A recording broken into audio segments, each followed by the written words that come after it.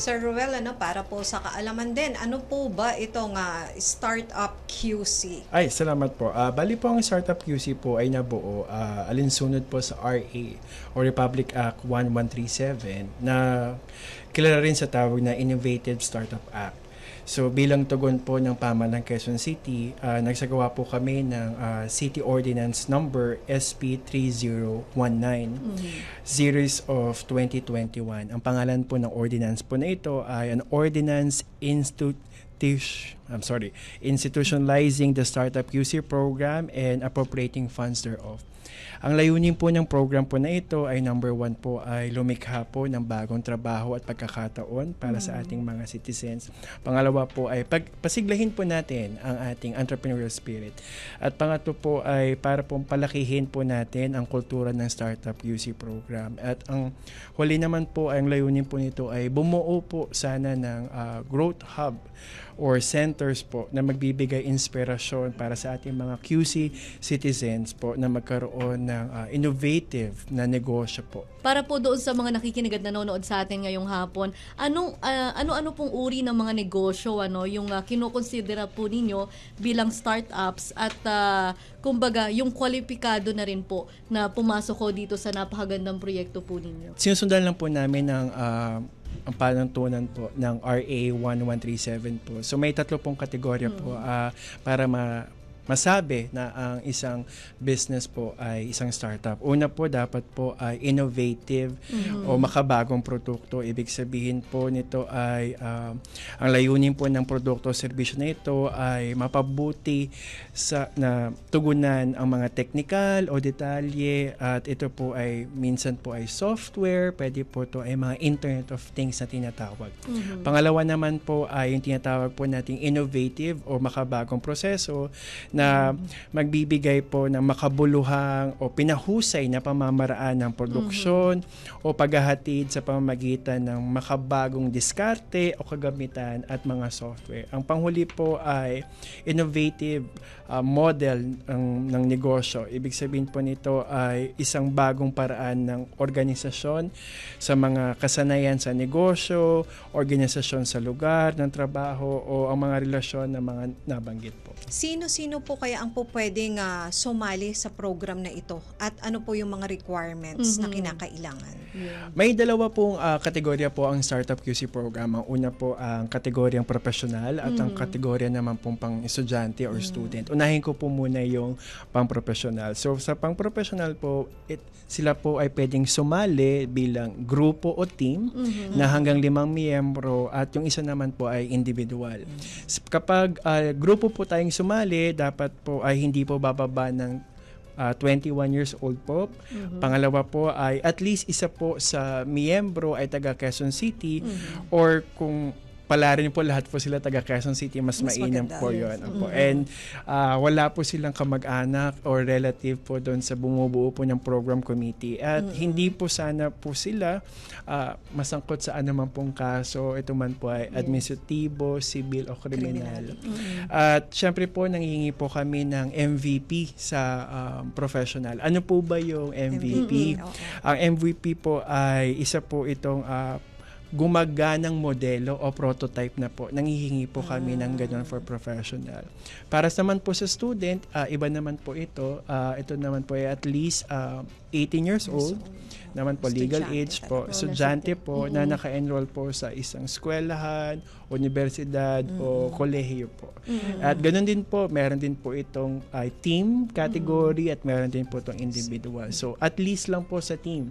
So ibig sabihin kung may kaibigan ka po sa ibang pong LGU, okay lang po basta yes. at least isa po ay from Quezon City po. Ma'am si Marinela, meron silang cash grant na 1 million that is the maximum amount na, na pwedeng pwede. uh, makuha no ng uh, magagawaran ho nitong uh, startup QC. Kaya naman po ang tanong din ho no ng uh, sambayanan na ito na yung tanong talaga no.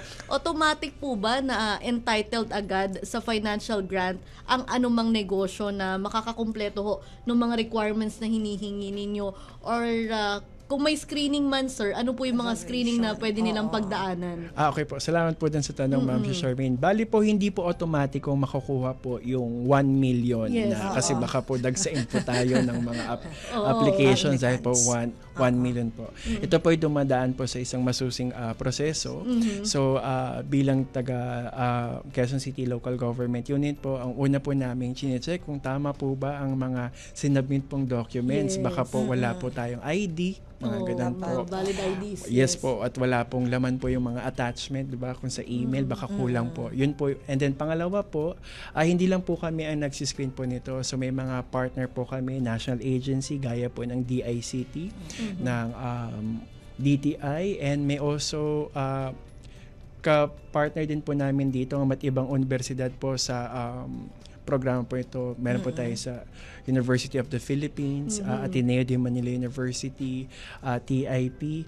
Meron din pa tayong Quezon City University, meron din po tayo TEMS International, Miriam College, Marami, oo. at meron din po tayong isang industry practitioner po na launch garage po. So ibig sabihin, may tatlo, apat na layer po ng pagsusuri. At kung ikaw naman po ay pala rin na makapasok sa programa. So, depende po sa pangailangan po o ng estado ng inyong ah, business, Business. kung kailangan po.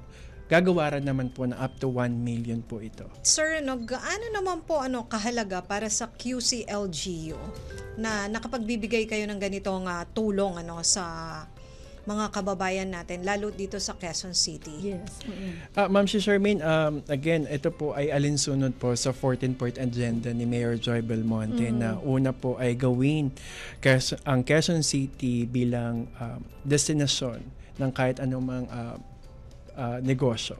Pangalawa po ay kailangan ah, alinsunod pa rin po sa 14-point agenda ay lumikha ng trabaho at maraming negosyo at mga pagkakataon sa QC residents.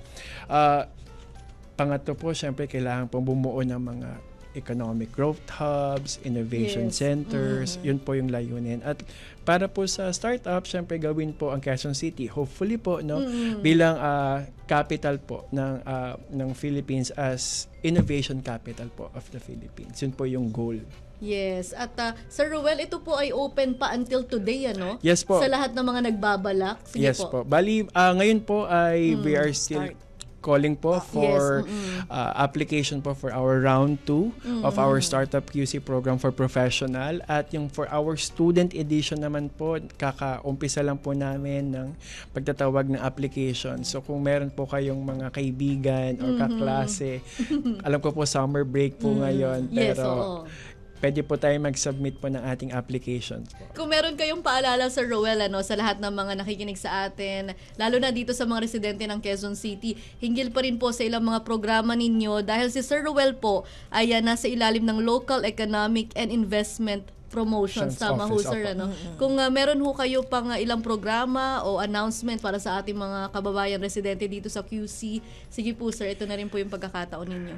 Ay, inanyan po namin kayo na i-follow po natin ang ating official uh, Facebook. So, una po, uh, Startup Quezon City po. Nandun po, nag-announce po kami ng lahat ng related po sa aming startup. Pero, pagdating naman po sa aming uh, mother unit na aming ahensya na Local Economic and In- Investment Promotions Office, meron din po kaming um, official Facebook. So, LAPO po, pakihanap na lang din po yon So, nandun din po lahat po ng ginagawa po ng opisina.